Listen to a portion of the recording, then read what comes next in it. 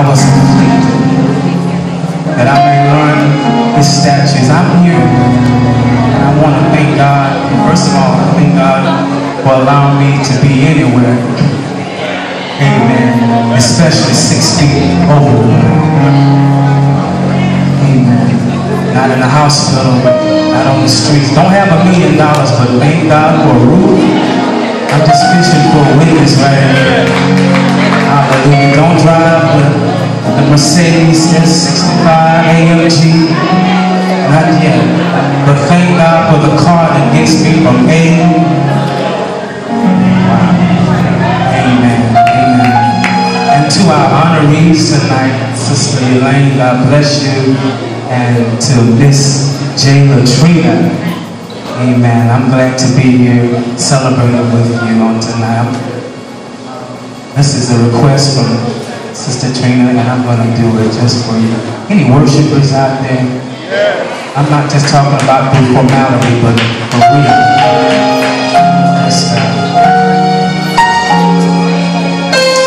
It's not just a Friday night love affair, but God, all week long.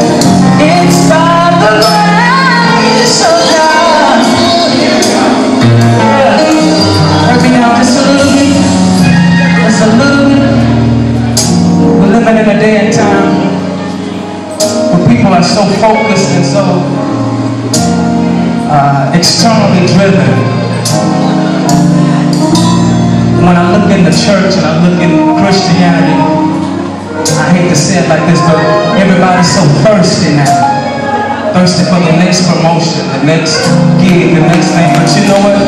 If you ever been sick, you're looking at somebody that was 300 pounds. Sick. You're looking at somebody that was almost homeless. And I'm not talking about five years ago. I'm not talking about looking at somebody that was on Section 8 and the rent used to be $86. And I struggled just to meet.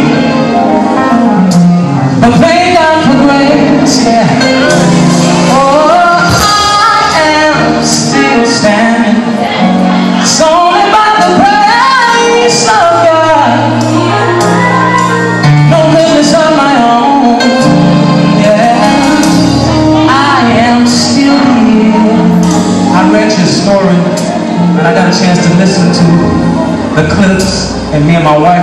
Sitting there. My wife was in tears. She's a big crybaby. Don't tell her I told you that. And how you said, I'm telling the truth. And you went down the line. And you know, we had to raise our hand on almost every one of those things. But I'm not ashamed of what I went through, what I've been through. God used it. The enemy meant it for destruction, but God used it for your construction, yeah. Help me say I am. Survivors out there?